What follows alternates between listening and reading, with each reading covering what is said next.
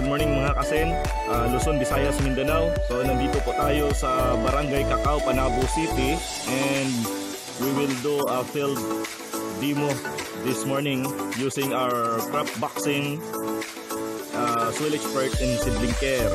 So ito yung area, almost 1 hectare yung inilaan sa atin ng Cagro, Panabo City para sa mais na crops, no? So nandito tayo sa area, kasama natin yung isa sa mga kagawad sa Barangay Cacao. Yan, bro ko sa guardian. Uh, okay, po, no? So napaka-accommodating po nila. And ongoing yung preparation. So nandito si Sir Ken, si Sir Bob, si Ma'am Lilibet and then si Cap, no? Kapitan ng Barangay Cacao, Panabo City. So very accommodating dito tayo sa area para dito natin gagawin ang field trial and demo para sa products. So abangan natin to months from now ang magiging result and makita natin no. And hindi lang tayo yung magkakandak ng field trial kasi sa kabilang side yung kabilang side dito uh, synthetic po siya. Ang sa atin naman dito na part along national uh, along barangay road. So kitang-kita ng lahat in public nandito yung area natin along barangay road siya uh, sige po. So abangan natin to few months from now. Uh, July 28 2020 araw ngayon. Si Juan si maraming salamat.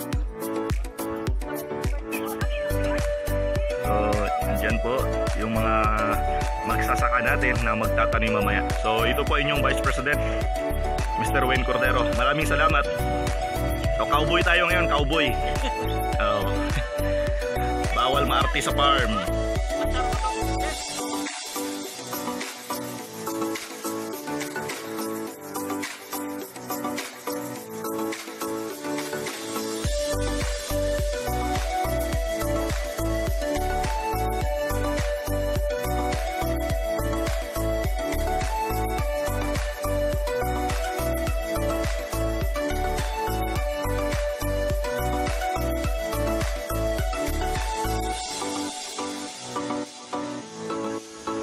So ito na po ang binhi ng mais treated with seedling care and soil expert.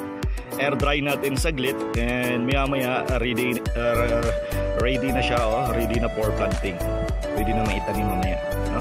So air dry lang po natin saglit. Magandang tanghali po sa inyong lahat. Ako po si Lilibet Valiente Chi, isa po akong area coordinator dito sa Davao del Norte. Uh, nandito po ako ngayon sa area na ibinigay ng Cagro Office sa Municipality of Panabo